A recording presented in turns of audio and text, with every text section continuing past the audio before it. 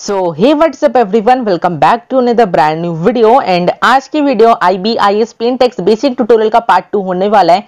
And आज की इस वीडियो में हम इरेगुलर ऑब्जेक्ट्स को सिलेक्ट करना सीखने वाले हैं. आई I मीन mean, आप जब भी कोई ग्राफिक डिज़ाइन बनाते हो फॉर एग्ज़ाम्पल थंबनेल तो उसमें आपको गन या फिर कैरेक्टर को सिलेक्ट करके उसका कटआउट बनाना पड़ता है.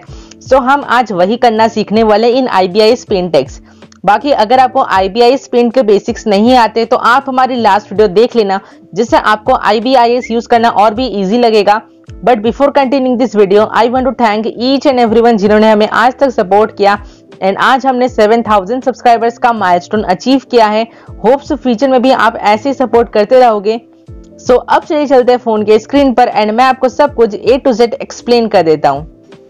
सो so गाइस पहले तो आपको यार I B I S paint X application को ओपन कर लेना है, फिर आपको जाना है माई गैलरी के अंदर एंड यहाँ पर आपको प्लस के आइकन पर क्लिक करके अपना कोई भी कैनवस बना लेना है, जितने साइज़ का लाइक आपको जो भी ग्राफिक डिज़ाइन बनाना है, उतने का कैनवस बना लो। फिर आपको लेयर्स पर क्लिक करना है इम्पोर्ट पिक्चर पर क्लिक करके यार अपना कोई भी एक स्क्रीनशॉट इंपोर्ट कर लो, या फिर कोई भी बैकग्राउंड इंपोर्ट कर लो, जिसका वो कटआउट बनाना है। इन माई केस यार मैंने यहाँ पर एक कुछ इस तरह का बैकग्राउंड इंपोर्ट किया है। आप चाहो तो कुछ भी इंपोर्ट कर लो। एंड इंपोर्ट करने के बाद आपको क्या करना है? मैं आप चलिए आपको बता देता हूँ। आपको यहाँ पर पहले अपने ब्रश पे जाना है लाइक ब्रश की सेटिंग्स पर जाना है। एंड मेक श्योर कि आपका फ़र्स्ट वाला ब्रश सिलेक्टेड हो।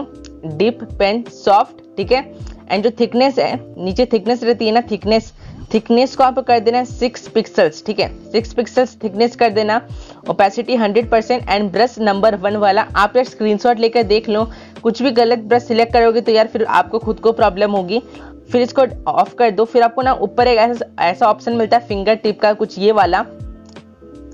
फिंगर टिप पर क्लिक करना है, फिर आपको यहाँ पर एक स्टेबलाइजर मिलता है, उसको टेन कर दो, फिर आपको फोर्स फ़ीड एनेबल नहीं करना है, नहीं तो फिर आपको प्रॉब्लम आ सकती है। आपको नीचे एक मेथड मिलता है, ठीक है? मेथड दो तरीके के होता है, एक है रियल टाइम एक होता है आफ्टर रियल टाइम मतलब कि आप जब जब सिलेक्ट करोगे, तब तब वो होता जाएगा। आफ्टर मतलब कि आपने जब कर दिया, उसके बाद सिलेक्ट होगा। सो so, आफ्टर वाले यार थोड़े से लोगों को थोड़ा सा अनोइंग लग सकता है तो वो आप खुद ट्राई करके देख लेना। मेरे हिसाब से यार मेरे को तो रियल टाइम ज़्यादा पसंद है तो इसलिए मैं रियल टाइम यूज़ करूँगा।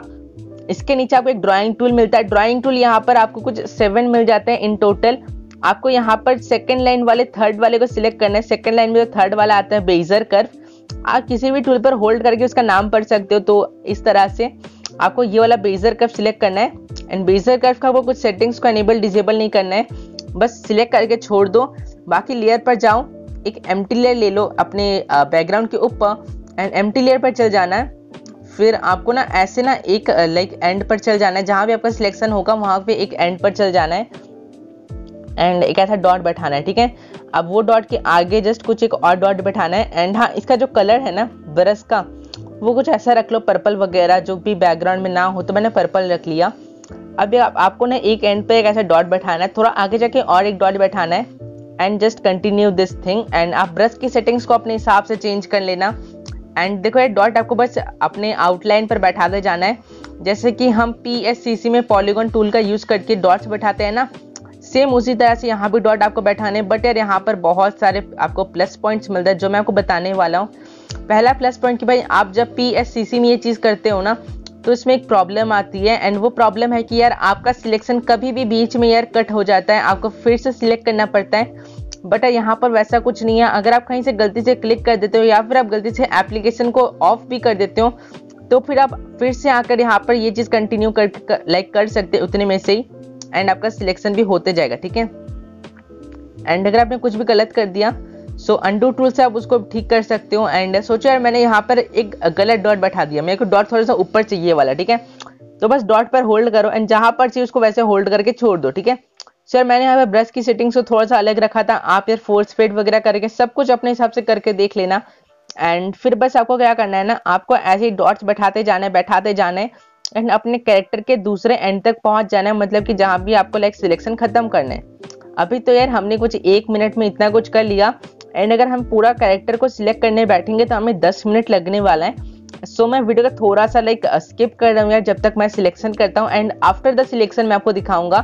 बाकी आप ये करते जाना करते जाना। एंड आपका यार जब भी हो जाएगा तब आपको मैं कुछ और बताऊँगा। वो आप देख लेना तब तक मैं सिलेक्शन कर लेता हूँ। सो so गाइस यार 10 मिनट बाद यार मेरा लाइक सिलेक्शन खत्म हो गया। एंड बेजर कब से यार मैंने एकदम ही सही से सिलेक्शन बना लिया। बट स्टिल कहीं कहीं थोड़ा सा रफली है तो आपको उसका ध्यान रखना है। बाकी सिलेक्शन बनाने के बाद चलिए क्या करना है, मैं आपको वो बताता हूँ। पहले तो यार आपको बेजर कर्व डिजेबल कर लेना है। मैंने ऑलरेडी बेजर कर्व को हटा के ड्रॉइंग टूल ऑफ़ कर दिया है, ठीक है? आपको भी वो कर लेना है, फिर स्टेबलाइजर ऑन रखना है, या ऑफ़ रखना है, वो आपके ऊपर है। मैंने स्टेबलाइजर ऑन रहने दिया है। एंड सिलेक्शन क्या, यहाँ पर जो ब्रश था ना, मैंने ब्रश को थोड़ा सा चेंजेस किया ब्रशेस में लाइक ब्रश में, ठीक है? तो यहाँ पर और एक चीज़ है, जो कि मैं आपको बताना चाहता हूँ बिफोर कंटिन्यूइंग दिस वीडियो देखो, यहाँ पर एक चीज़ है। कि देखो, यहाँ पे बहुत से बंदे सोचेंगे, यार बेजर कर्व की जगह क्यों ना हम खुद से अपने रफली ऐसे ड्रॉ कर लें?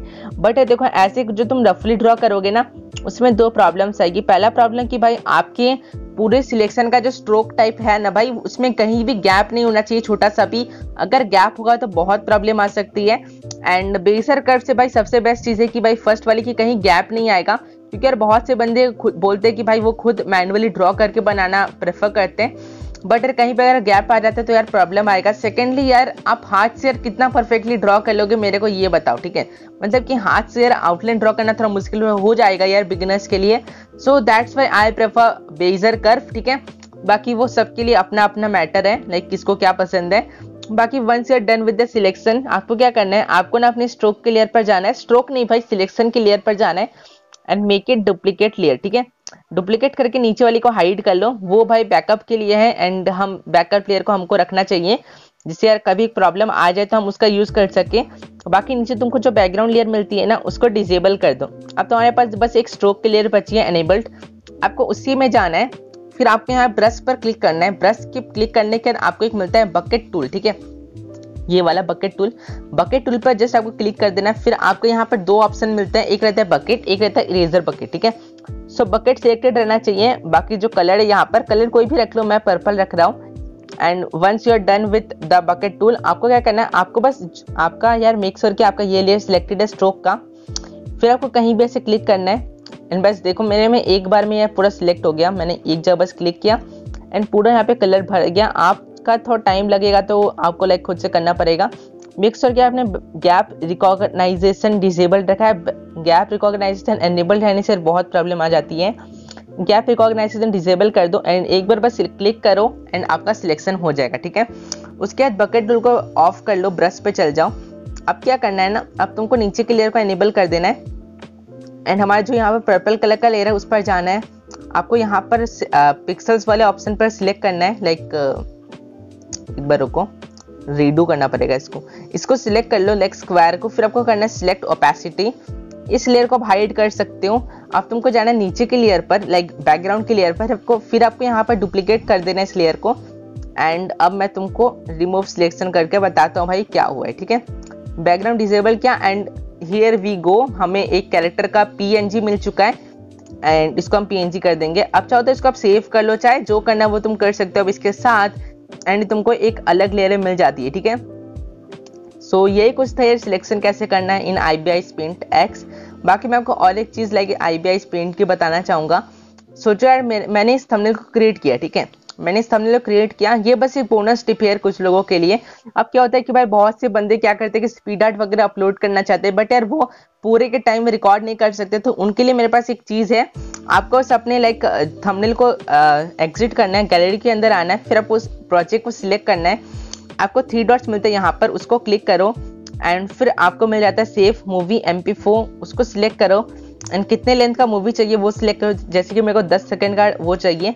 लाइक like, uh, अपना पूरा प्रोसेस चाहिए तो मैं 10 सेकंड सिलेक्ट करूँगा एंड अब तुमको कुछ ऐसा स्पीड एट फ़ोन में सेव हो जाएगा ठीक है? सो आप ऐसा ना पूरा थंबनेल बना सकते हो फिर आप जो भी क्रिएट करते हो बना सकते हो फिर बाद में उसका स्पीड आर्ट सेव करके कहीं भी अपलोड कर सकते हो।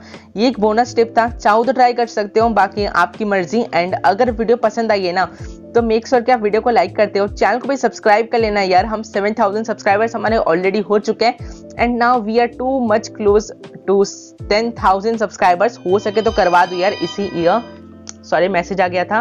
बाकी मिलते हैं आपसे नेक्स्ट वीडियो में। तब तक के लिए बाय